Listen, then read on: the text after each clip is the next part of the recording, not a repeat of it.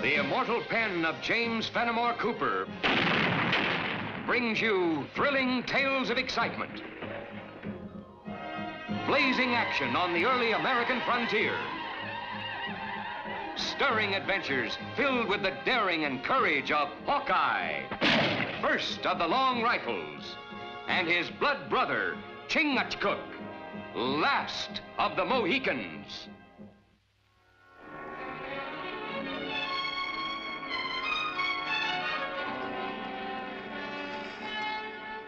Smack through the heart.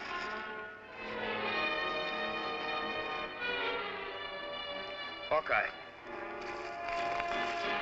This track of Ojibwa moccasin. I guess that adds truth to the reports the Commissioner General's been getting. Someone's putting guns into the hands of the Ojibwas. This looked like maybe we too late, my brother. Well, maybe not. If the Ojibwas had all the guns they wanted, there'd be blood and fire up and down this whole territory. Well, let's put this poor trapper to rest and get on to Watertown.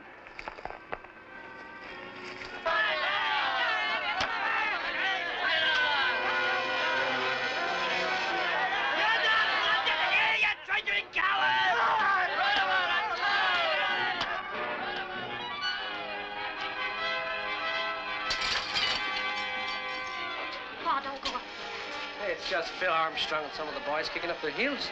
Probably spent too much time tapping the keg over to the tavern. Please, Pa, you'll get hurt. It's all right. Let my Pa go! You bully, I'll scratch your eyes out. In a minute, I'll forget you're a woman. Hold it! Your manners are bad enough the way they are. Now just step away from the lady. Nice and gentle like. I don't know who you be, Wiseman, but unless you want to be tarred with the same brush as us traitors, pull in your horns and be on your way. Calling a man a traitor don't make him one. Unless you got proof. They Them Ojibwa Indians never had no firearms so he opened up shop. If you have any charges to make, make them with the law. Otherwise, get your friends and clear out.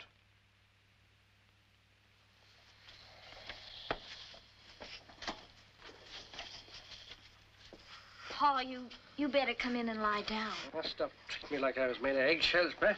That little shaking hardly must me. My daughter and I are powerful beholden to both of you. Maybe I can show you something that'll make you stop wondering if I'm a traitor or not. Please? You'd better keep your eye on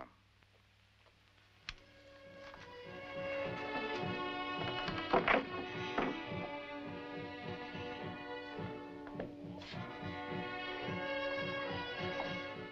This is my trademark. The sun with the rays shining from it. Yeah, it's nice balance. But that sunburst won't prevent it from getting into the wrong hands. Nary a gun leaves this shop without the mark of Eben Cotten burned into it. I like to feel that I put more than just iron and wood into each one of them. And if you find one of my weapons in anybody's hands, you'll find my mark and a record of it in that book. Eben, just heard about the trouble with Armstrong. Got here quick as I could. Everything all right? Outside a broken window pane, Neil's concern's more for Beth than 'tis for me. When a fellow's courting the prettiest girl in town, he's got to be mighty concerned about his future father-in-law as well. Rest of my handle's Ellsworth. I'm called Hawkeye. This is my blood brother, Chingachgook. It's a real pleasure. You certain Beth's all right? See for yourself. She's taking care of some chores. All right. There's a fine, upstanding example of the opportunities of this new country. Came here less than six months ago, hardly more than the clothes on his back. Owns the trading post now. Well, then uh, he can sell guns, too. No, sir. As soon as he met Beth, got rid of the few guns he stocked. Sends anybody wants a rifle or a musket over to me now. Well, that's keeping it in the family. Chingachgook and me have got some business of our own to tend to. We'd best get on with it. Oh, sure. Well, good luck, boys. And don't forget, so long as you're in Watertown, you don't have to knock on my door. Just come right in. All right. Goodbye. Good luck.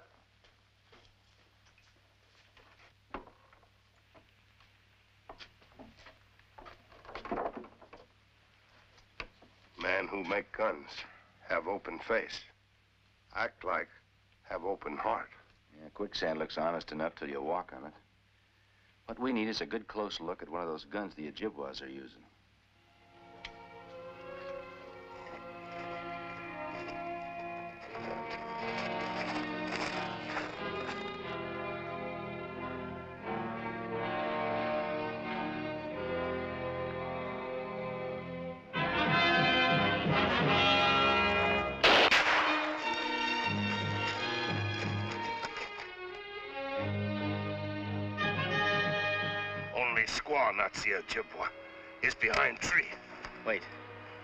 If you don't get him the first shot, you might scare him away. But you've given me an idea. That ambushing skunk could get powerful courageous if he thought he'd shot one of us. Getting our hands on that rifle and him ready to talk's just what the doctor ordered. But doctor not order Mohican use head for target. I wouldn't be too sure about that.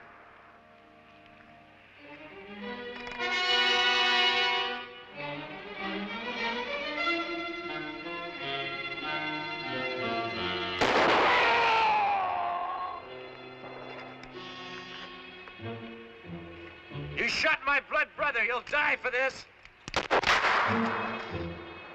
Go ahead. I'll keep him busy.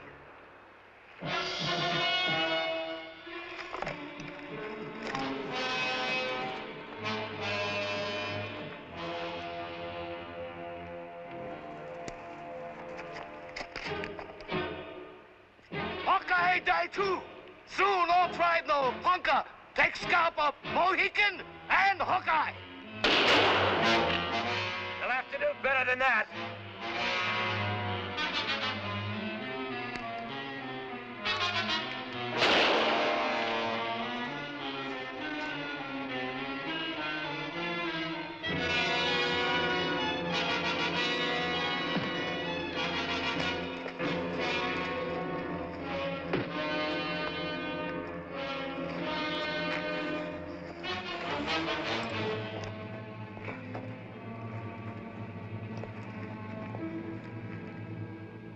Is sign of man who make gun.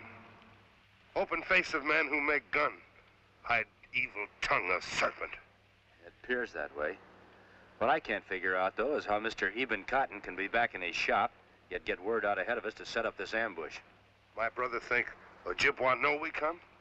He's never seen us before. He called us by name. Whoever gave you that information and that gun are the same man. Maybe you'd better tell us who it is. Ponca tear tongue out first. Maybe a few days in the Watertown jail and you'd decide to just loosen it instead. Come on, let's go.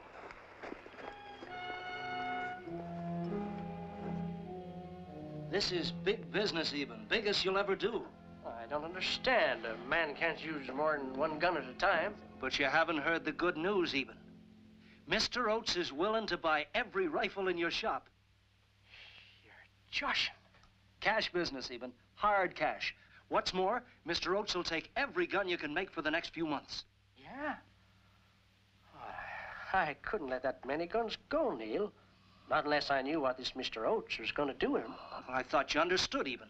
He trades up and down the territory. He's stopping by my place tonight just to pick up them guns. Hmm, It'd take one man more than a year to sell all the guns I can turn out. Just to settlers. Beth, perhaps you can reason with him? Selling off his guns to Mr. Oates will prove he ain't making them for the Injuns. You'll have to stay out here, all of you. You stopped us taking care of that traitor before. You can't stop us now. I've got a lot of patience, Mr. Armstrong, but you're wearing mine thin.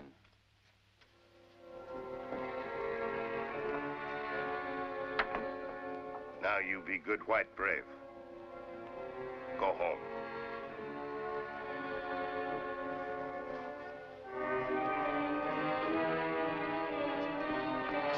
Step on aside, Injun. I'm gonna get that traitor.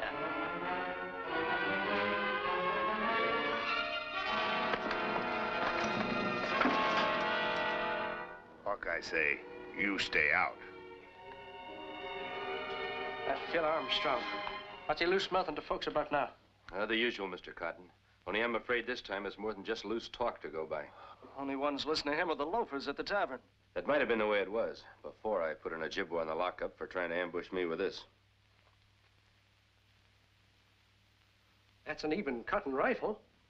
There's no denying that.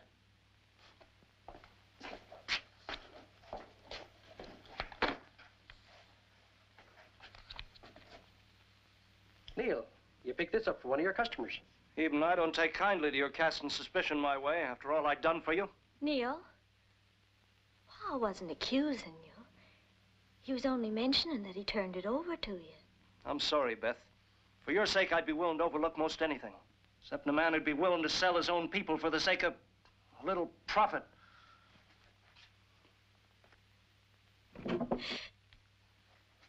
Mr. Cott?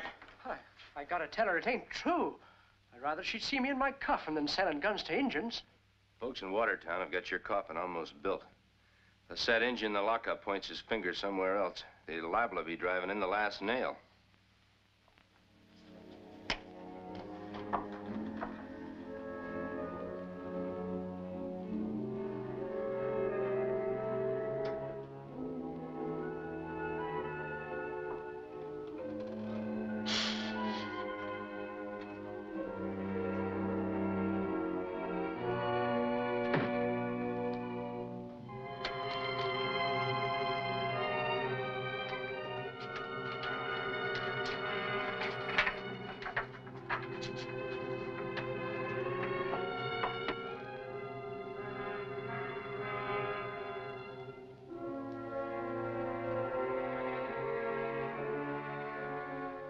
Pa's right. Every gun's been accounted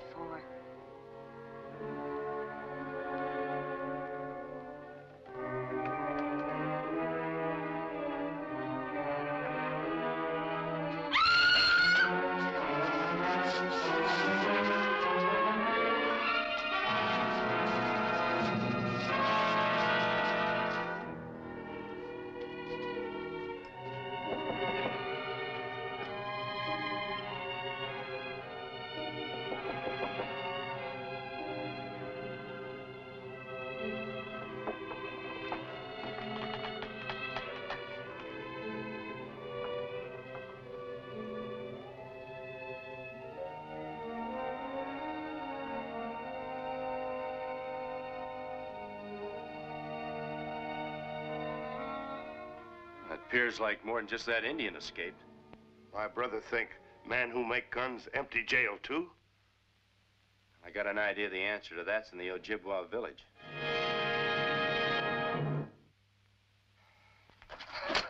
Enough. You fix. Towak let White Squaw go. Yes, Garvey Savage. You can flay me alive.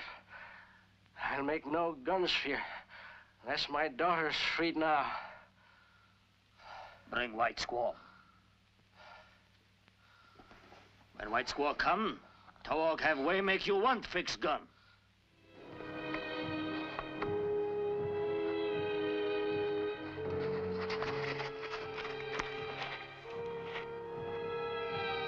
That looks like the gunsmith's wagon. Man who make rifle must be in big teepee. The way to find out's to take a look.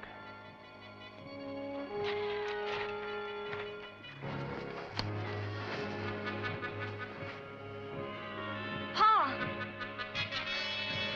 Beth, they ain't harmed you? I'm all right, Pa. Beasts. Don't fix any guns for them, Pa. Even though they torture both of us. White Squaw won't go free. Father live. Tell him, fix guns. That's too high a price for either of us. I think I can change your mind. Neil! The Ojibwa call me Ondaga, prophet of victory. You traitor. To think that I was in love with you makes me shrivel inside. May you be struck dead, you turncoat renegade. I've turned against no one. The Ojibwas are my people. But your skin is white. You say that as if I should be proud of the fact. I'm prouder that my mother was daughter of an Indian chief. You mean you're renouncing a civilized way of living? A business you built up from scratch? A position? What position? Owner of a grubby trading post? Here I'm a chief, a leader of warriors who'll drive you white settlers from your lands. Oh, Ondaga, no more talk. Want guns. There's no torture you know that can make me ask Pa to lift a finger to help you. Squaw must do as her husband tells her. I'd rather be roasted alive than even think of being your wife. Not my wife, Beth. His. And if Ponca don't suit you, I can pick you another. It's up to you, Eben. You start making guns, a dance at your daughter's wedding. Pa. It'll mean death and destruction for innocent people. I I can't help it, Beth. The gunsmith will work faster alone. Bring Squaw.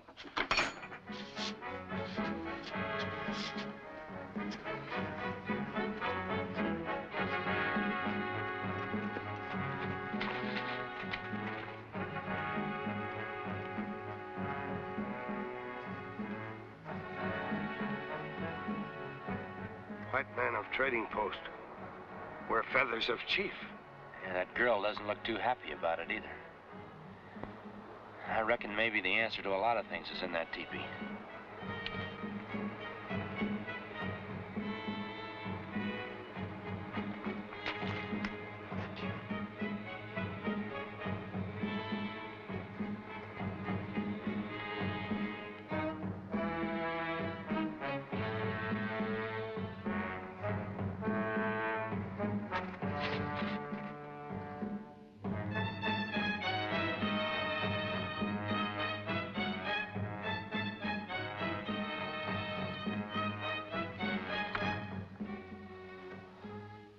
The looks of you, I'd say you'd had a lesson in gentle persuasion. Well, that'll heal. It's the safety of my daughter's got me tied up here. Those Ojibwas are getting real clever, using heartstrings instead of rawhide to hold a man prisoner. All the same, I've got to ask you to leave your workbench. Not without Beth. Once you get free of this place, then we can figure out what to do about her. Look, my mind is made up. The Ojibwas want guns. I'm making guns.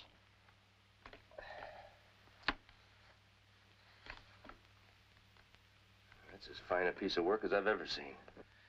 How many do you figure you'll have done by morning? Uh, six or eight. Wouldn't want to be on the wrong end of one of those.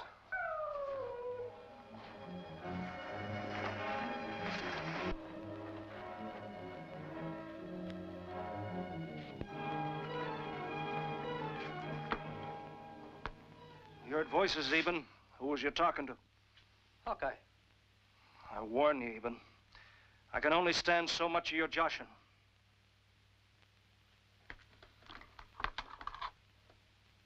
Before another moon, each warrior will have a brother to this. Then no white man will face us.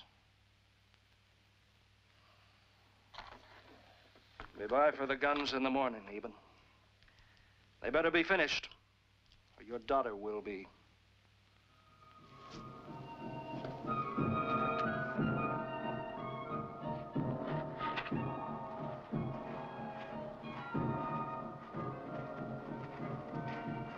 Looks like a firing squad going to draw their weapons. Firing squad shoot only one man. Looks like war party. Keep me covered.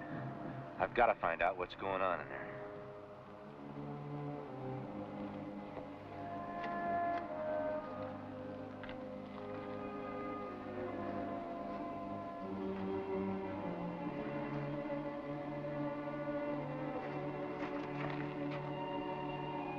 You've well, Eben. I'm doing best as I can. Now, why don't you keep your promise to let Beth go? Insurance, Eben. Without her being here, you might decide to close up shop. There's a gun for each of you.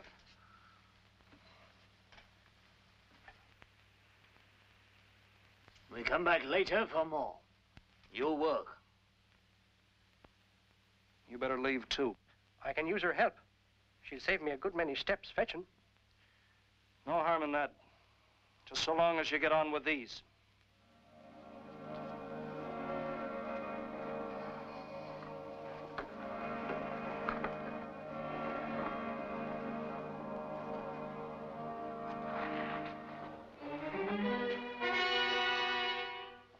I reckon you're ready to go out the back way now. Yeah, sure. Keep going straight ahead till you come to a clearing. Chingachgook is waiting for you. All right, go ahead, Beth.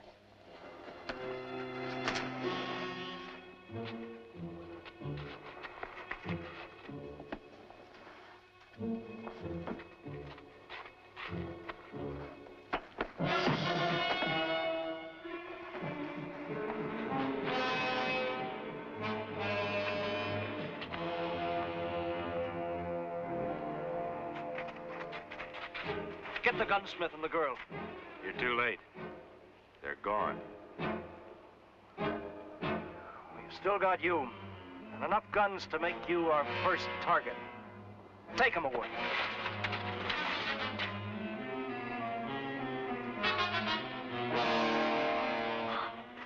I can't go another step. Not need to. Ojibwa lose trail. Watertown that way. You rest. You're not going back. Blood of white brother is my blood.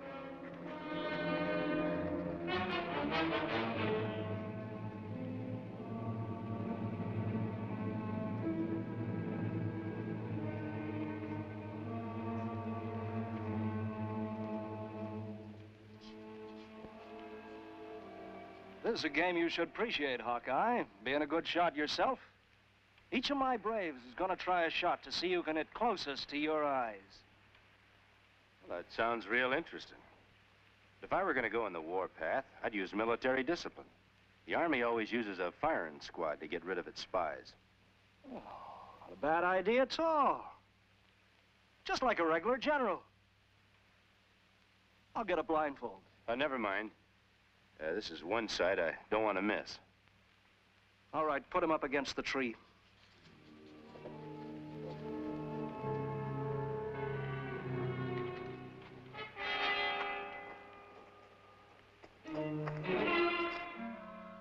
Shoot when you give the signal. Get in line now.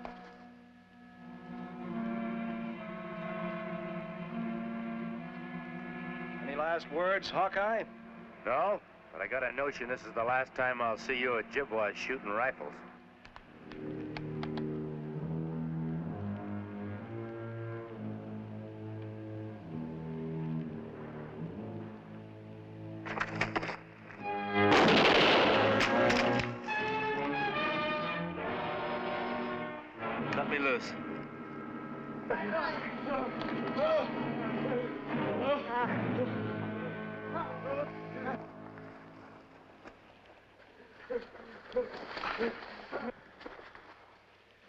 Prophet of victory is a prophet of doom. He brought bad medicine with those guns. He traitor to both Indian and white man. He die by slow death. oh I reckon he should be punished by white man's law. If you don't mind, we'll take him in. You take.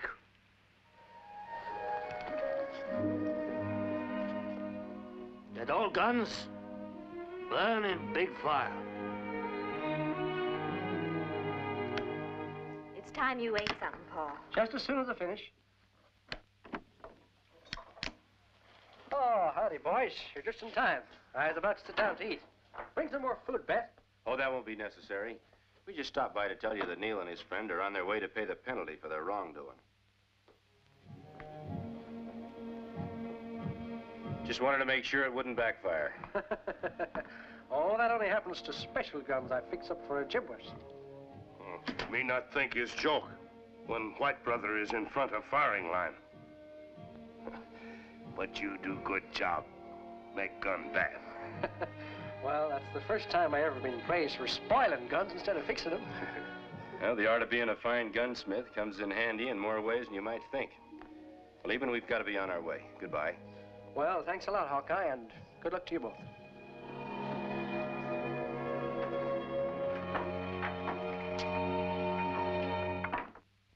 Join us again at this same time next week for another of James Fenimore Cooper's gripping tales of the early American frontier. Another exciting adventure of Hawkeye and his blood brother, Chingachgook, last of the Mohicans.